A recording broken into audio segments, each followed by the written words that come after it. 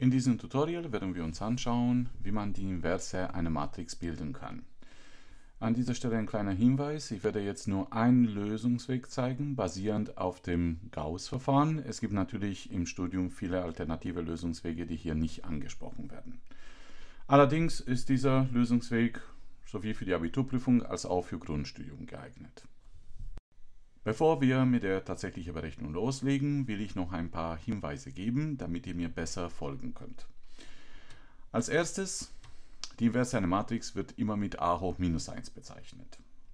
Zweitens, wenn eine Matrix A eine Inverse besitzt, so heißt sie auch invertierbar. Die Haupteigenschaft der Inversen ist, dass bei der Multiplikation einer Matrix mit ihrer Inverse die Einheitsmatrix rauskommt. Wir erinnern uns, die Einheitsmatrix ist diejenige Matrix, äh, die auf der Hauptdiagonale nur 1 hat und sonst mit 0 aufgefüllt ist. Das ist das neutrale Element bei der Multiplikation. Und nicht jede Matrix besitzt eine Inverse. Was genau damit gemeint ist, werden wir während der Beispielaufgaben sehen. Ich werde euch in diesem Tutorial einen relativ einfachen Lösungsweg zeigen. Allerdings gibt es ein paar Voraussetzungen, die davor erfüllt sein müssen.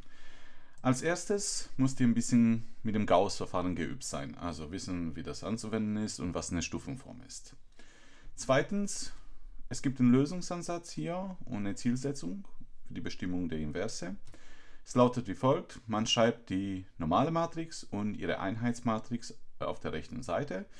Dann mit Hilfe des Gauss-Verfahrens formt man das Ganze so um, dass am Ende die Einheitsmatrix auf der linken Seite steht und die Matrix, die auf der rechten Seite entsteht, ist dann automatisch die Inverse. Wenn das hier zu schnell ging, keine Sorge, gleich kommen die Beispielaufgaben, dann klärt sich das.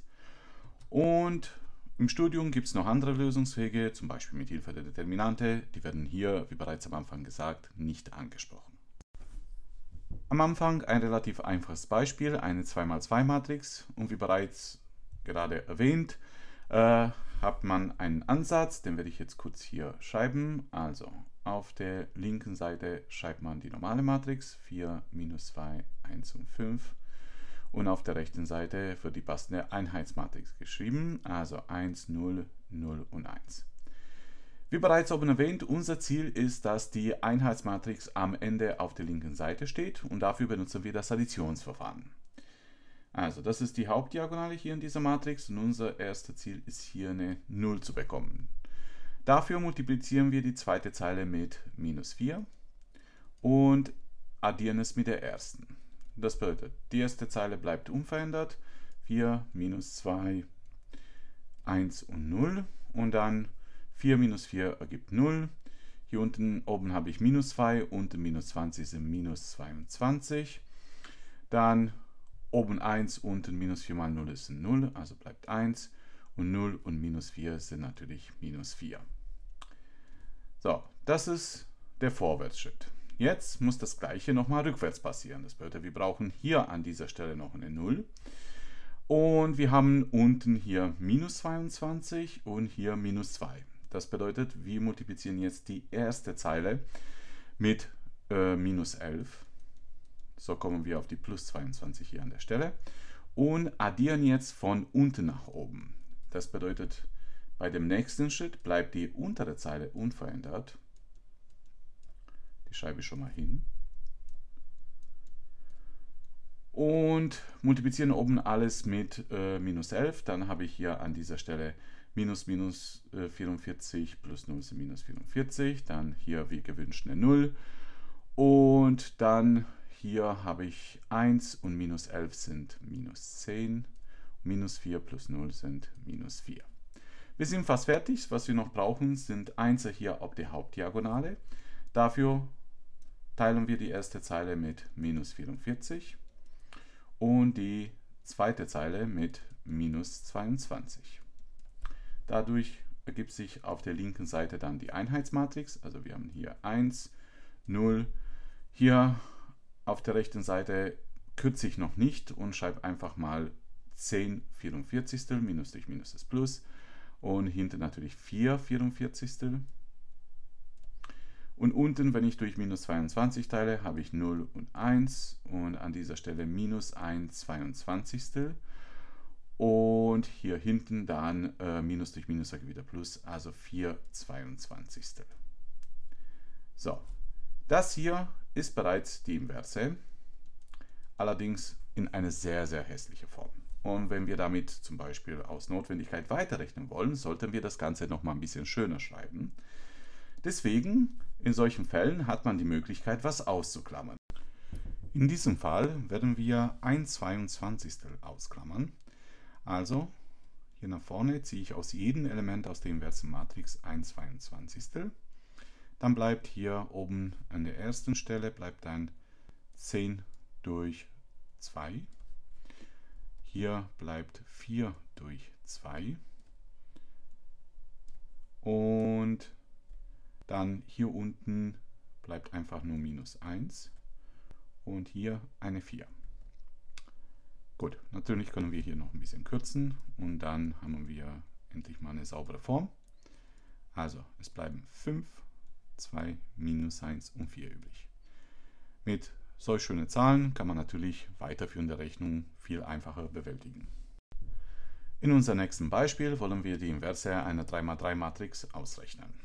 Der Ansatz bleibt gleich, also schreibe hier einfach auf der linken Seite unser Matrix A 2, 2, 1, 4, minus 2, 3, minus 1, 2 und 1 und auf der rechten Seite natürlich die passende Einheitsmatrix 1, 0, 0, 0, 1, 0, 0, 0, 1.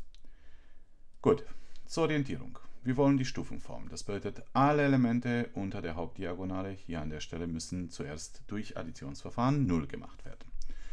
Als erstes werde ich die 4 hier wegmachen, indem ich einfach die erste Zeile mal minus 2 nehme und mit der zweiten addiere.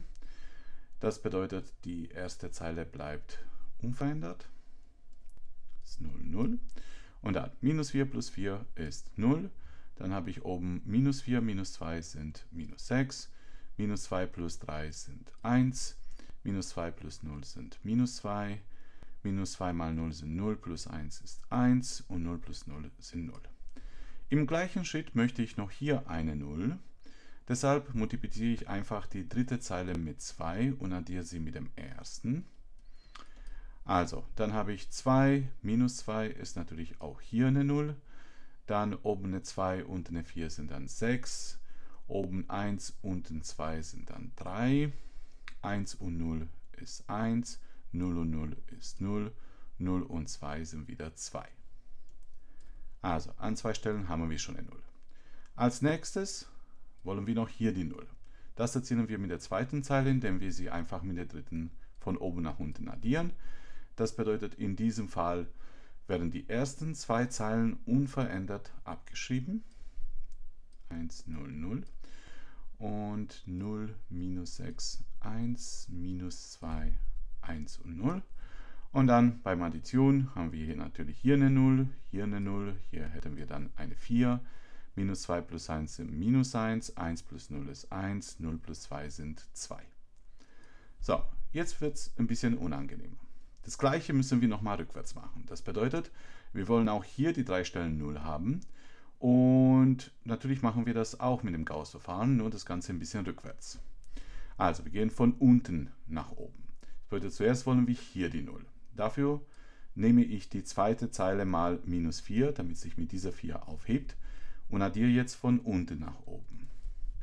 Also, ich fange jetzt an, indem ich die letzte Zeile unverändert abschreibe. Minus 1, 1 und 2. Und dann geht's los. 0 plus 0 ist natürlich 0. Hier an dieser Stelle habe ich dann 24. Dann hier ist wie gewünscht eine 0. Dann habe ich hier 8, minus 1 sind 7. Dann 1 und minus 4 sind minus 3. Und 2 und 0 sind natürlich 2. So, im gleichen Schritt wäre geschickt, wenn wir auch hier eine 0 bekommen. Dafür nutze ich jetzt die zweite Zeile. Ich kann auch die dritte nutzen, aber ich entscheide mich jetzt für die zweite. Und deswegen beispielsweise nehme ich die erste mal minus 1 und addiere die zweite von unten nach oben zu der ersten. Dann habe ich hier 0 und minus 2 sind natürlich minus 2. Dann habe ich hier minus 6 in der zweiten und minus 2 sind minus 8. Minus 1 plus 1, wie gewünscht 0. Dann minus 2, minus 1 sind minus 3. 1 plus 0 sind 1 und 0 plus 0 sind natürlich 0. So, uns fehlt ja nur noch eine Stelle und zwar die hier. Dafür nutze ich natürlich wieder die zweite Zeile. Ich habe hier minus 8, hier 24, also nehme ich die erste Zeile dann mal 3 und wieder von unten nach oben addiert. Das bedeutet, die letzten zwei Zeilen werden jetzt unverändert abgeschrieben. Minus 1, 1 und 2, dann 0, 24, 0, 7, minus 3 und 2. Und dann legen wir los. Dann haben wir hier oben dann entsprechend eine minus 6. Hier, wie wir wollten, eine 0, hier auch eine 0. Dann habe ich hier minus 9 plus 7 sind dann minus 2. Ähm, 3 minus 3 ist 0 und 0 plus 2 sind 2. Wir sind fast fertig. Jetzt müssen wir nur noch die Einser hier auf der Hauptdiagonale hinkriegen. Deshalb teilen wir die erste Zeile durch minus 6, die zweite durch 24 und die letzte Zeile dann durch 4. Ich springe jetzt hier an der Seite. Dann habe ich auf der linken Seite 1, 0, 0 und minus 2 durch minus 6 sind 2 Sechstel. Ich kürze mit Absicht noch nicht. Dann 0 durch minus 6 ist natürlich 0 und 2 durch minus 6 sind minus 2 Sechstel. Dann in die, letzte Zeile, in die nächste Zeile 0, 1, 0 dann 7 24. Ähm, minus 3 24.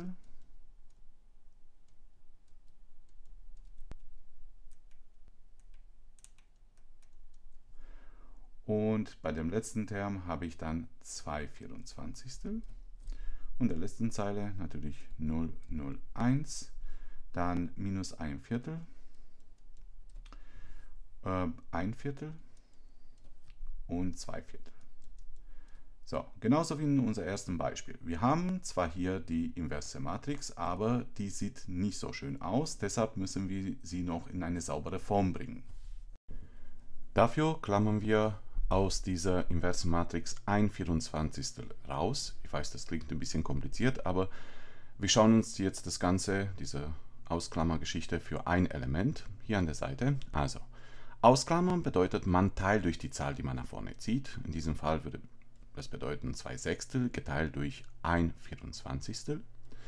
Wenn man diesen Doppelbruch auflöst, dann haben wir 2 Sechstel mal der Kehrwert vom unteren Bruch, also 24 Eintel. Dann kann man noch mal ein bisschen kürzen. Die 6 verschwindet, hier bleibt eine 4, also das Ergebnis ist 8. Die gleiche Taktik könnt ihr hier für alle Elemente der inversen Matrix anwenden. Ihr könnt das gedanklich oder schriftlich an der Seite machen, damit habt, kriegt ihr es hin. Also, kurz gesagt, die inverse Matrix würde dann in unserem Fall so aussehen, dieser 1 24. nach vorne gezogen. Dann das erste Element hier ist 8, dann 0 und minus 8. Bei der zweiten Zeile ist es ein bisschen leichter. Da kann man sich vorstellen, man nimmt nur diese 24 weg. Also 7, minus 3 und 2. Und bei der dritten Zeile wäre dann minus 6, 6 und 12. Das wäre dann die inverse Matrix. Damit kann man deutlich entspannter weiterrechnen. In den einführenden Teil zu diesem Thema habe ich bereits erwähnt, dass nicht jede Matrix invertierbar ist, beziehungsweise dass nicht jede Matrix eine Inverse besitzt. So, wie kann man das sehr einfach erkennen? Äh, es gibt mehrere Möglichkeiten, zum Beispiel im Studium kann man das auch mit der Rang einer Matrix überprüfen. Äh, diesen Begriff werde ich jetzt nicht neu einführen, sondern ich werde den klassischen Weg, das wir bereits besprochen haben, benutzen. Es ist nicht wirklich mit mehr Aufwand verbunden, deswegen kann man es auch so ganz gut erkennen. Und zwar, wir versuchen so wie vorher mit Hilfe der Einheitsmatrix diese Stufenform zu erreichen, also 1, 0, 0, 1, 0, 0, 0, 1. Gut, das war unsere Hauptdiagonale. Unser Ziel ist erstmal, diese Elemente hier 0 zu bekommen. Das erzielen wir mit dem Additionsverfahren. Also, ich nehme beispielsweise die erste Zeile mal minus 1 und addiere sie mit der zweiten. Dabei bleibt die erste unverändert. 1, 2, minus 2, 1, 0, 0. Dann haben wir 0 Äh, minus 2 plus 3 sind 1, 2 plus 1 sind 3, minus 1 plus 0 sind minus 1, 0 plus 1 sind 1 und 0. Und im gleichen Schritt möchte ich auch noch hier eine 0 erzielen, deshalb nehme ich nochmal die erste Zeile mal 2 und addiere sie mit der dritten.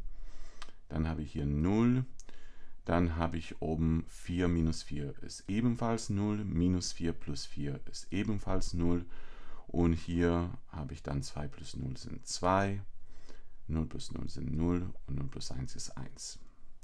So, jetzt ist was Seltsames passiert und zwar hier auf der linken Seite, statt dass hier noch ein Element ist, ist eine Nullzeile entstanden.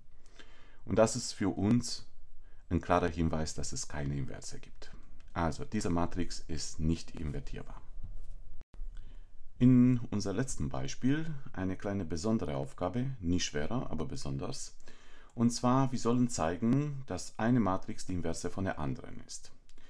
Da ist nicht die beste Taktik, äh, jetzt anzufangen, die Inverse selbst zu berechnen, sondern, wir erinnern uns, das haben wir eigentlich schon geklärt, äh, das war eine der Eigenschaften der Inverse. Die Inverse mal äh, die Matrix selbst oder andersrum ergibt immer die Einheitsmatrix. Das bedeutet, in diesem Fall müssen wir einfach nur die zwei Matrizen miteinander multiplizieren, egal in welcher Reihenfolge, und es muss die Einheitsmatrix rauskommen. Jetzt schauen wir, ob das gewährleistet ist.